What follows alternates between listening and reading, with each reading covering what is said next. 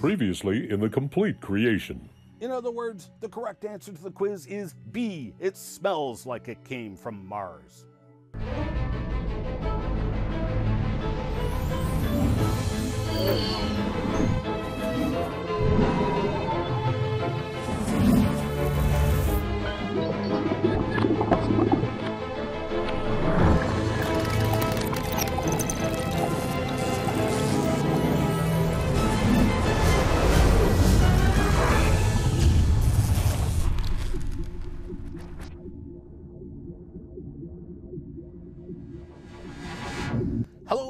Welcome back. Thank you for tenaciously continuing in this odyssey, a video encyclopedia of sorts on the creation evolution debate. We've been talking about various radiometric dating methods, looking at the principles behind the methods, and then looking at case studies to show that, in spite of the claim of staunch old Earth advocates, the radio dating methods simply do not work. And they know it. Over and over again, the deep time advocates have rejected radiometric ages whenever they contradicted their predetermined dates and times. Obviously, they would not do that if they really thought that radio dating methods were solid science. Now, would they? Many of these geologists having the utmost of sincerity, will first claim that radio dat- radiometric dating methods give solid ages of the rocks, independent of evolutionary timescales. However, when the radiometric dating methods return ages that defy the evolutionary ages, which are literally based on nothing more than wishful thinking, those same geologists will then turn around and, with all sincerity, reject their own radiometric dates. Let's take an extensive look at a case study that unfolded over the early 70s using various dating methods on the sediments and lava rocks of an area in Africa from whence, whence came a very famous fossil skull, Homo rudolfensis or Skull 1470. For this next section, we'll be following the path that Marvin Lubenow set out for us in his first edition of his book, Bones of Contention. His first appendix, entitled The Dating Game, was exceptionally well written, exhaustively documented, and I highly recommend reading it if you can get a copy of the book. The second revised edition of his book, for whatever reason, was missing this appendix, which is too bad because it was such an awesome chapter of the book. Skull 1470 was found by Richard Leakey in 1972, originally claimed and believed by Leakey to be 2.9 million years old. It was startlingly modern in appearance.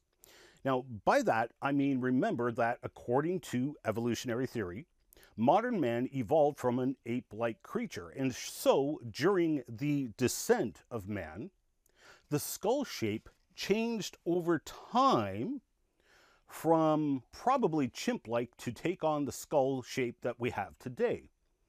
Not only was Skull 1470 startlingly modern in appearance, there was also tools found in those sedimentary layers.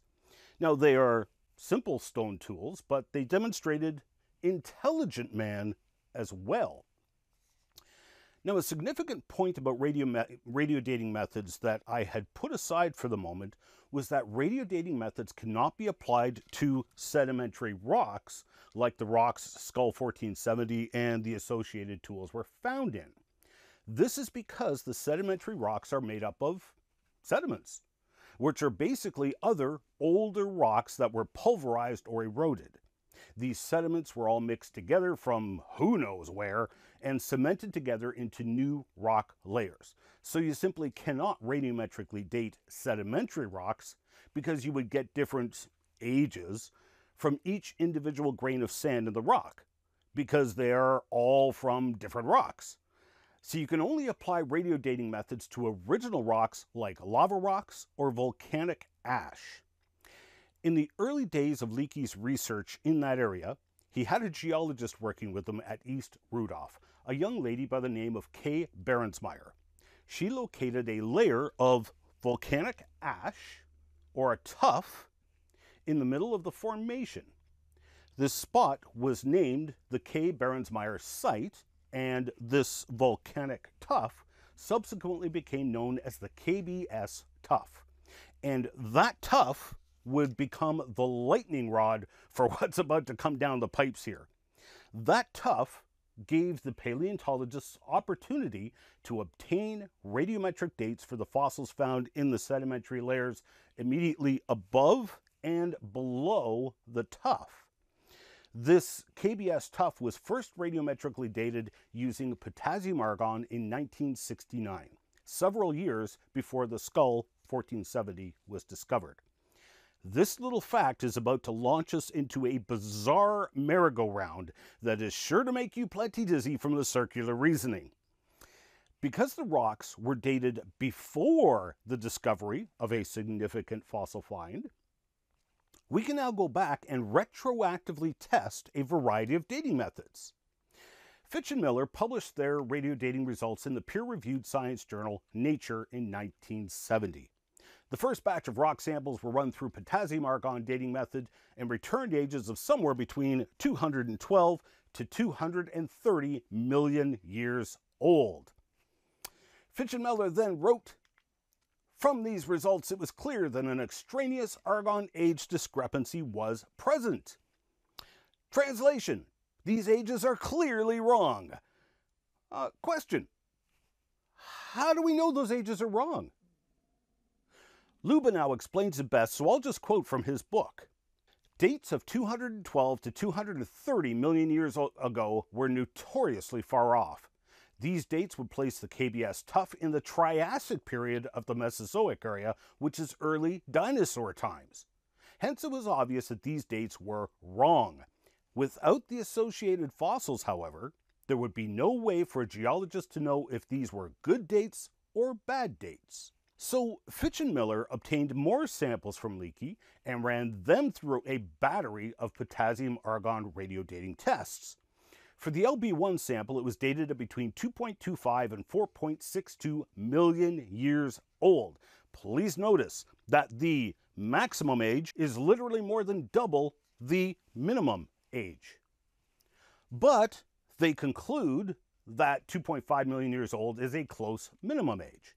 Question of the rhetorical kind. Uh, how do they know that's the close minimum age? For the LB2 crystals, they got 2.37 million years old as a minimum age and concluded that 2.64 million years old is a reasonably close age, an 11% difference. But they conclude that 2.61 million years old is a very close age estimate. Question of the rhetorical kind How do they know that that is a very close age estimate? because as they explain in their next sentence, these age indications are all consistent.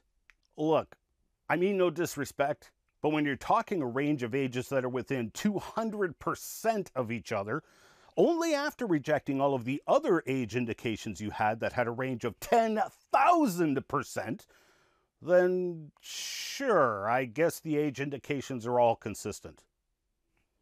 Are you starting to see how quickly this gets ridiculous? This isn't science. This is religion. It is sincere religion. I have no doubt about the sincerity of Fitch and Miller in trying to determine an accurate age, but they are force fitting the research results into their preconceived, predetermined canonical religious views of deep time. This age of 2.61 million years would become the benchmark age of the KBS tuff for about a decade. Uh, in fact, later on, after Leakey discovered Skull 1470 beneath the KBS tuff, he would repeatedly refer to this 2.6 million year age as accurately dated.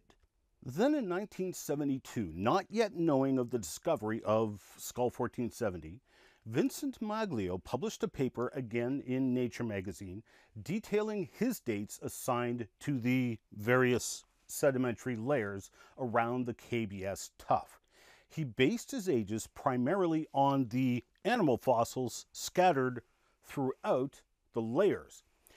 Most importantly, he found some elephant fossils uh, throughout all the layers and a number of fossils of different species of pig. The pigs are about to become of critical importance because, in Maglio's opinion, the changes mapped out a sequence of rapid evolutionary changes in the pigs over time. The dates Maglio assigned to the pig fossils were consistent with Fitch and Miller's date of 2.61 million years for the KBS tuff. And at that time, Maglio's work was considered to independently verify that age. But now that's where we start spinning around in circular argumentation. If you read Maglio's paper, he writes The indicated age range includes the potassium argon date of 2.6 million years for the KBS tuff located within the sedimentary unit containing this fauna. It must be pointed out that such correlation depends upon the accuracy and stability of the Fitch and Miller absolute chronology. So, Maglio's chronology agrees with Fitch and Miller's age, assigned to the KBS tuff, but Maglio's chronology is actually dependent on Fitch and Miller's age assigned to the KBS tuff. But if you go back to Fitch and Miller, they rejected their original dates of 212 to 230 million years old because of the fossils. In 1974, Brock and Isaac studied paleomagnetic signatures on the deposits below the KBS tuff. So, paleomagnetic signatures are just Earth's magnetic field turning a rock into a weak magnet as the rock is formed. So, theoretically, you can measure the magnetic field stored in the rock layer and determine what the Earth's magnetic field was like when the rock was formed. Was the Earth's magnetic pole reversed? Was it fluctuating? You know, questions like that. The paleomagnetic dates would provide a valuable check on other dating methods. Brock and Isaac tested 247 samples and arrived at ages for the rocks underneath the KBS tuff of 2.7 to 3 million years old, which paints Fitch and Miller's 2.61 million year age for the tuff as an absolute bullseye. But wait, when you read Brock and Isaac's paper, you find that the starting point for the correlation is the age of 2.61 million years obtained by Fitch and Miller. While Brock and Isaac's work was viewed as independently verifying the Fitch and Miller age, Fitch and Miller's date was the foundation for the Brock and Isaac date. But it gets better and more dizzying. Read on in Brock and Isaac's paper where they claim that an independent chronology for the Koobi Fora Formation has been presented by Maglio on the basis of mammal fossil zones. Wait, as we already saw, Maglio's work was not independent from Fitch and Miller, but rather he used Fitch and Miller's date as the starting point of his research. Brock and Isaac close out their paper by citing further unpublished radio dating of the Koobi Fora Formation by Fitch and Miller. Because the paleomagnetic and radiometric dates were so close, they concluded that this independent evidence greatly strengthens our proposed chronology. Wait, wait, wait, wait, wait. Just wait a minute here. Brock and Isaac just said that the unpublished radio dates independently confirm their paleomagnetic dates because in September of that same year, Fitch and Miller teamed up with some others and published that research. Get a load of how they start off that paper. Dating of the other tuff horizons was, however, more difficult. That's some scientific code words going on right there. Whenever you see anything like this written in a scientific paper, read between the lines. They just admitted that they performed a test to ascertain something's age, got back an age that they would not accept, and they rejected those ages. They said it right there in print. We performed dating of the other tuff horizons. However, Translation We did not get the dates we were looking for. Scientists are under no obligation to publish any research results. If they get a date that doesn't line up with what they are expecting, they will toss it in the garbage and make no mention of it. Here, they are at least tacitly admitting that they ran tests which returned ages that they rejected. So, are radio dating methods accurate or not? You cannot tell me that radio dating methods generate absolute ages when you can pick and choose which ages you keep and which ones you reject. But I digress. Al.'s research is very important in this story. They conducted radio dating on over 100 rock and mineral samples, and here come some of those bad dates they hinted at.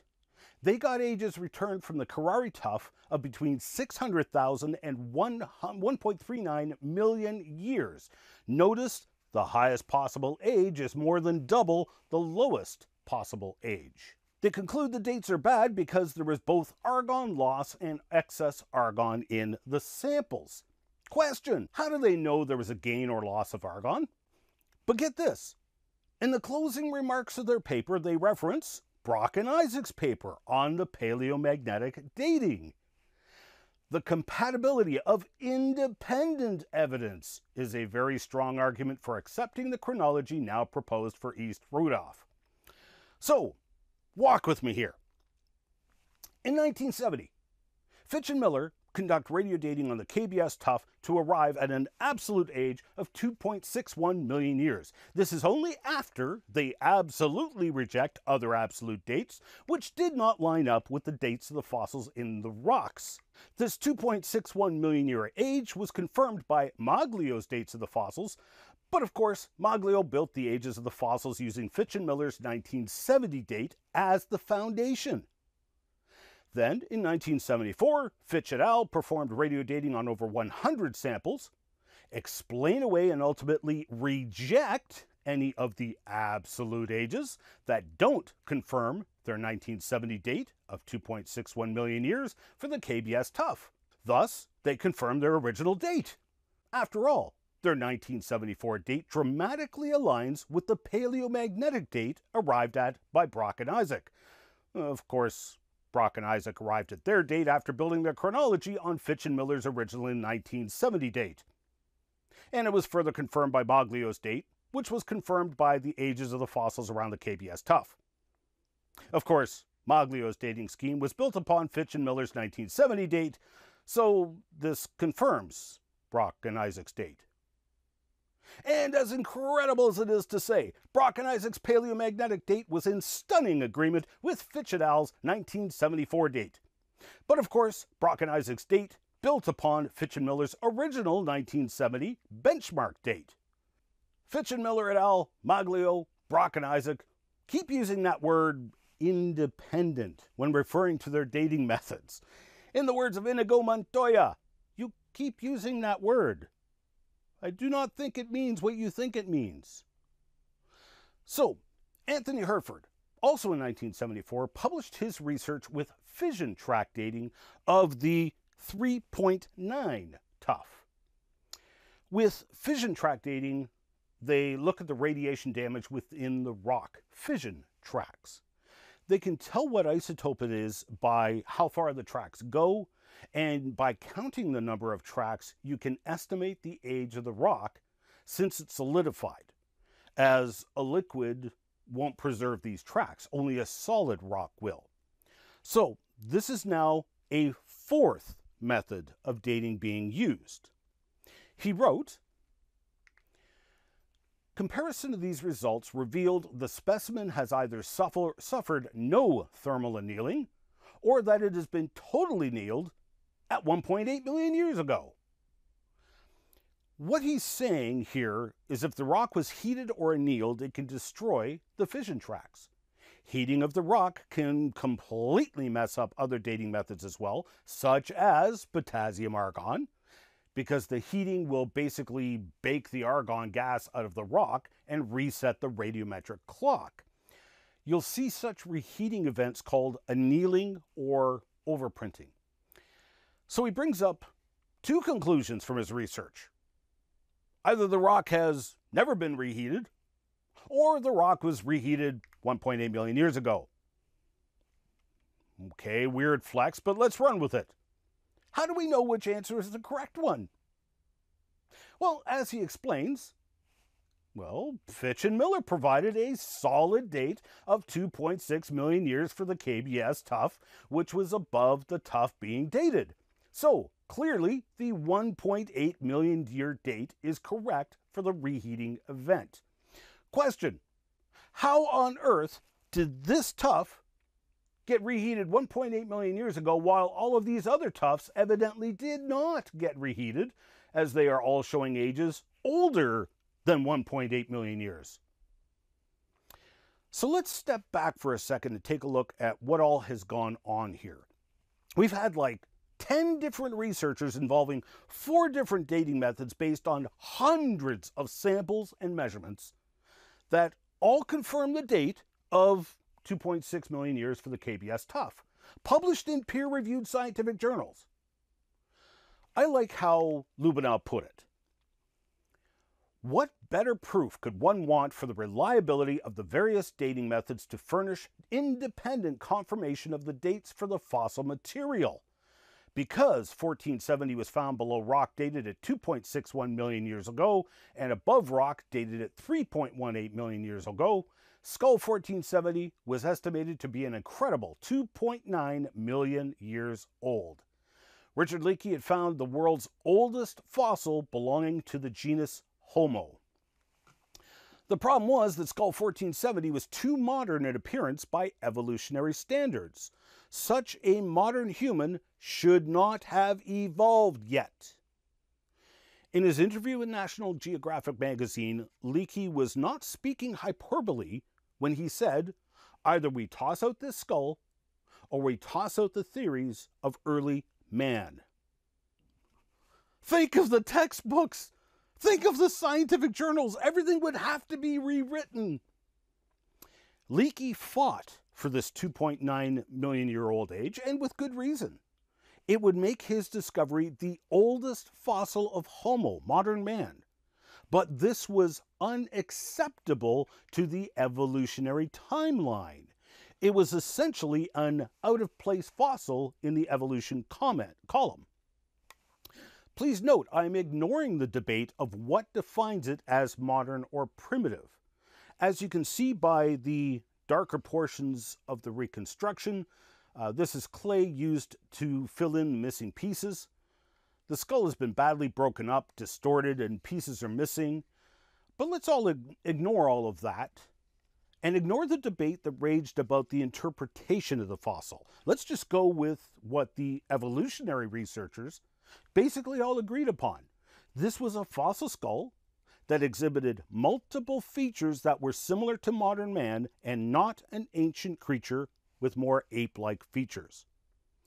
Do not underestimate the fame and fortune that come to the discoverer of the oldest fossil human ever found. A huge conflict arose between Leakey and the rest of the evolution community as a result. Leakey understandably wanting to defend his acclaim for discovery of the oldest human fossil, and the rest of the evolutionary community which must reject such claim as it upends the entire evolutionary descent of man. So when ardent advocates of deep time point to a vast array of different dating methods, all confirming each other, don't let that impress you because deep down, they themselves are not impressed.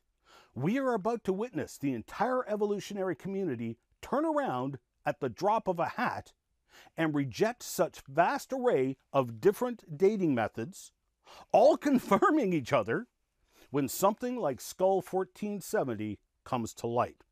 Now, I'm running out of time for this segment, so I will close with a taste for what's coming next. Fitch and Miller teamed up again with Hooker in 1976 to revisit the radio dates on the KBS Tuff. Why? They devoted a portion of their paper to that topic, which is incredibly revealing. Starting with the title of the section opposition to our dating. Uh, hold up. Are these radio dating methods accurate or not? Why on earth would any evolutionist oppose the dates determined by hundreds of radiometric dating tests? But look at their choice of words explaining this opposition. Over the past five years, opposition to the acceptance of a 2.5 million year age for the KBS Tuff has come from three sources. First, archaeologists and paleoanthropologists disturbed by the consequent antiquity of hominid fossils and stone tools found close to or associated with the KBS Tuff. So here we are, having dozens to hundreds of different samples and measurements using multiple dating methods, giving us ages that confirm and corroborate each other. It is then the evolutionists and deep time advocates themselves who go on to reject their own dates. Obviously, they themselves do not honestly believe that radiometric dating methods are reliable and irrefutable. Being disturbed is an emotional reaction to the evidence, not a scientific one. In fact, the reaction is anti science. But I'm out of time for this lecture. Please join me again for the next segment, where we follow through this sordid yet enlightening tale to the end. Coming up in the next complete creation. If any date from any dating method paleomagnetic, fission track dating, radiometric dating, isochrons, etc., disagrees with this evolution column and these predetermined dates, the dates are sacrificed at the altar of evolution. You can catch the entire series in a variety of ways. You can watch the show online at www.completecreation.org or www.genesisweek.com. You can also purchase the Complete Creation series in full high definition on Blu ray or video on demand at CompleteCreation.org. Or support the Miracle Channel with a monthly tax deductible donation and access the entire Complete Creation series in high definition through Corco, Miracle Channel's video on demand service. We need your support to keep this program on the air. So please pray for us.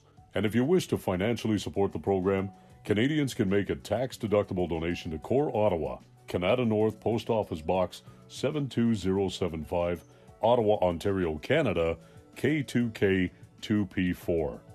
Or you can make a donation via PayPal online at ianjuby.org forward slash donations. And thank you for your support.